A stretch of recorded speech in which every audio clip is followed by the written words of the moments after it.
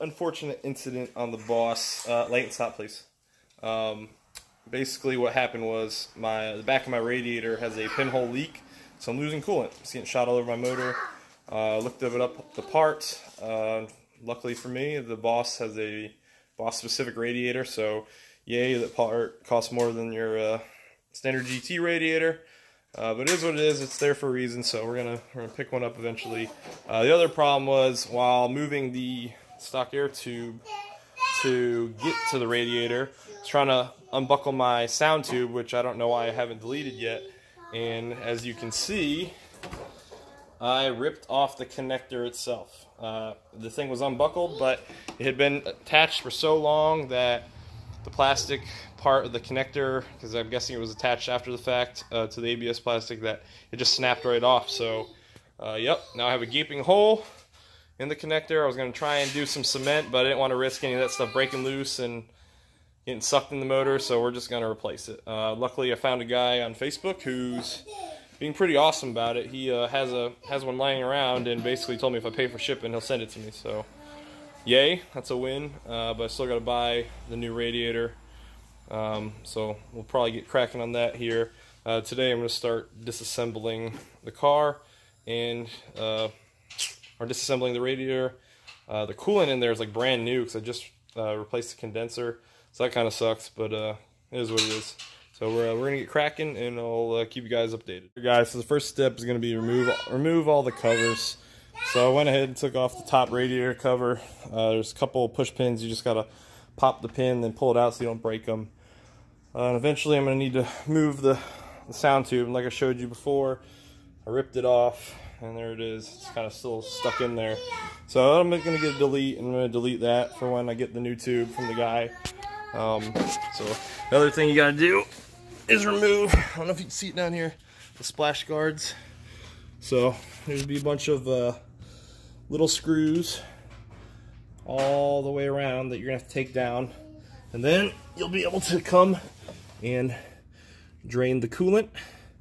And so we'll do that next. Uh, this coolant's really new, so it kind of stinks that I'm getting rid of it, but we gotta do what we gotta do. So we'll get that going and uh, we'll see you guys in a second So we loosen the uh, drainage little valve and uh, it's making a mess. This little drain pan's not big enough to catch it because it's splashing all over my floor so I'm to wipe this up so my dog doesn't come in here and lick it.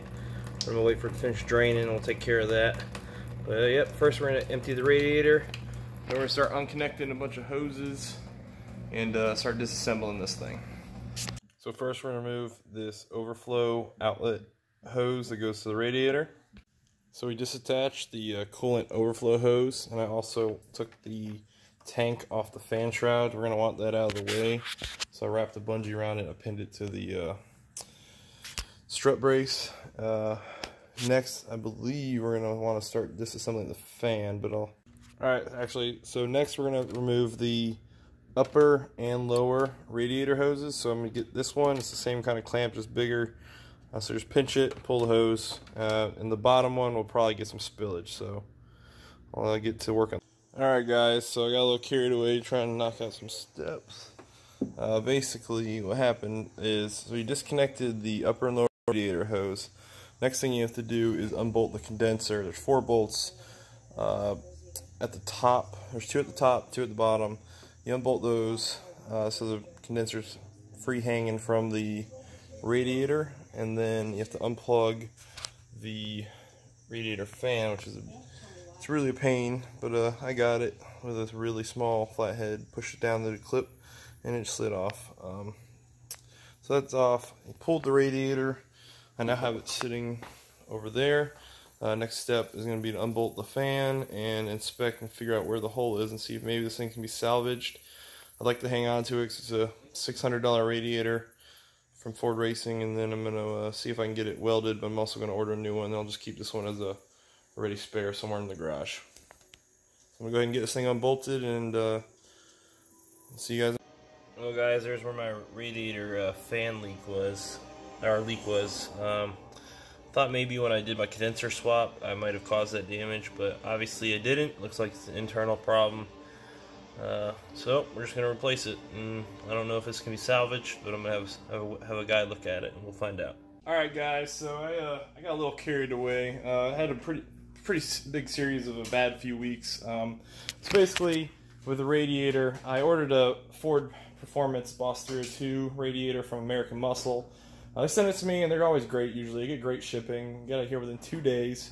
As soon as I opened it up, there was first of all there was a hole in the side of the box, and I was ah, it's just on the plastic frame, so it's probably fine. Plastic frame was fine, but when I opened the box, uh, the radiator was destroyed. There was fins that were crushed. There was lines drawn in it with fins ripped out, and I didn't know if it would cause a leak. And I'll show, post a picture here.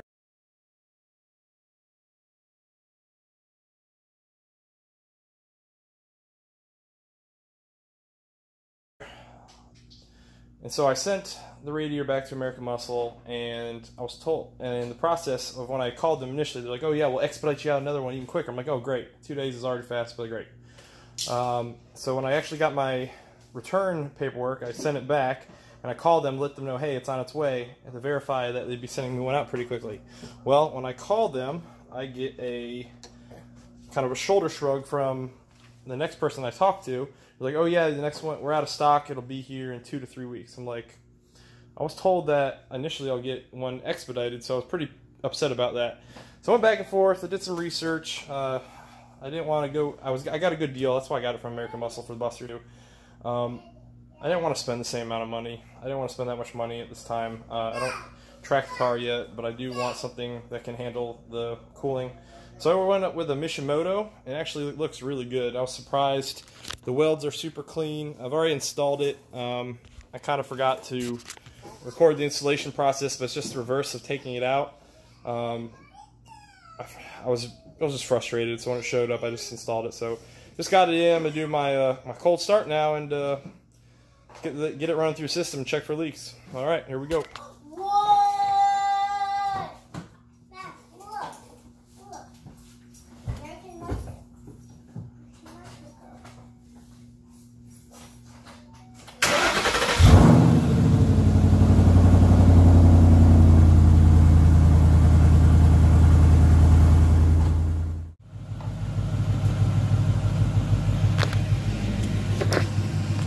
All right, outstanding. Uh, so it's in. Uh, big thanks to Paul. Uh, you are, if you're watching, you know who you are. Uh, I actually broke my sound tube. I broke my sound tube uh, right here at the coupling.